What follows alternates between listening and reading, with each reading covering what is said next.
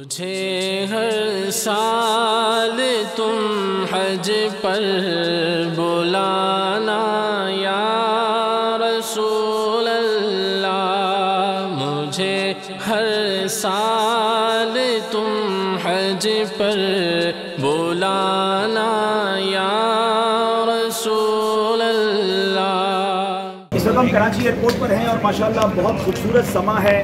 مدینہ منورہ جانے والے خوش نصیب زائرین حج کرنے بھی جا رہے ہیں اور سرکار علیہ صاحب اسلام کی بارگاہ میں اپنی حاضری پیش کرنے جا رہے ہیں۔ رات اس وقت تقریباً پونے دو بجنے والے ہیں اور گورنر سندھ اپنے ساتھ مٹھائی کا مٹھائی کے بہت سارے ڈبے اور ہار لے کر آئے ہیں اور مدینے جانے والوں کو رخصت کرنے آئے ہیں۔ اللہ ان زائرین مدینہ کی حاضری قبول فرمائے اور ان کے صدقے ہمیں بھی یہ سفر نصیب فرمائے۔ کیا فرمائیں گے گورنر صاحب؟ جی بس ہے کہ حج کرنے جا رہے ہیں۔ میں ان سے صرف ایک ہی درخواست کروں گا۔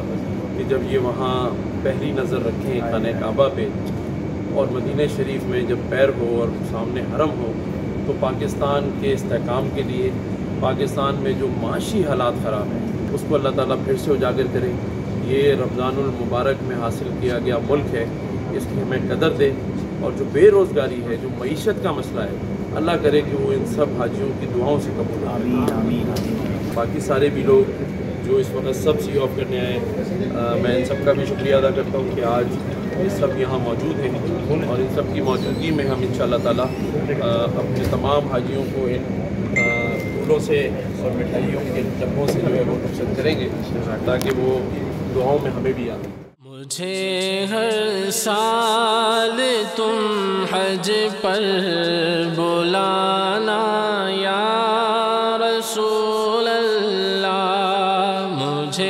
ہر سال تم حج پر بولانا یا رسول